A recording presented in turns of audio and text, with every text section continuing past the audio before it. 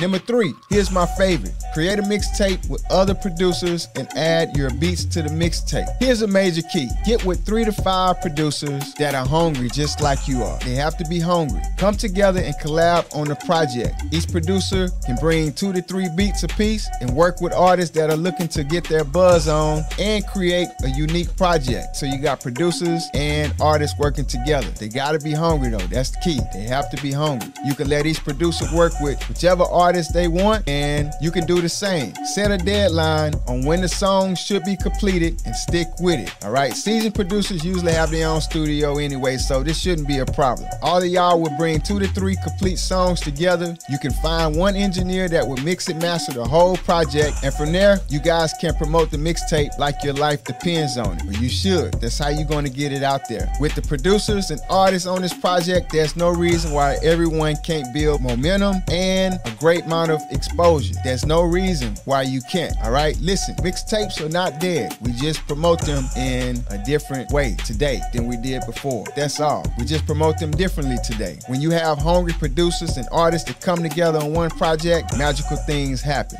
Just gonna put that in your ear, just let you know. With the dope beats produced by the producers and the artists looking to get their buzz on and get it out, you know, on the web, everything will work. Everything will work. Everybody's going to benefit from it in different ways, but this process does work. Your music will be heard all around the world, and you will gain opportunities from people hearing your music all around the world on this mixtape, okay? Because you can promote this mixtape everywhere. In your city first, get it hot in your city, you know. You know, I teach you guys what to do first. Get hot in your city first, and then start the smoke, let everybody see the smoke, and then you can set the rest of the world on fire. But get it hot in your city first. And here's another tip. Make sure you ask everybody what they're looking for from the mixtape. Everybody may not get paid, but exposure is what you're looking for because you want to get your music out there and let the world know what you can do. But ask everybody what they're looking for before you get started so there's no misunderstanding once the music and the mixtape starts to take off. Okay, now if you just did this, forget the other three examples I'm sharing to get your music heard. If you just did this, come on, man. This one tip will get your music out there. Now, it will require some work. Everything that is worth having requires some work. You're going to have to network with other music producers and artists. It requires work, but you want to get your music heard. You want to go to the next level in your career. You're going to have to put some work behind it. If you're getting any value from this, click the like button and subscribe. And make sure you leave a comment and let me know what was your favorite tip. Every week we drop valuable information like this, man. Platinum lyrics and beats, man. That's why we're here.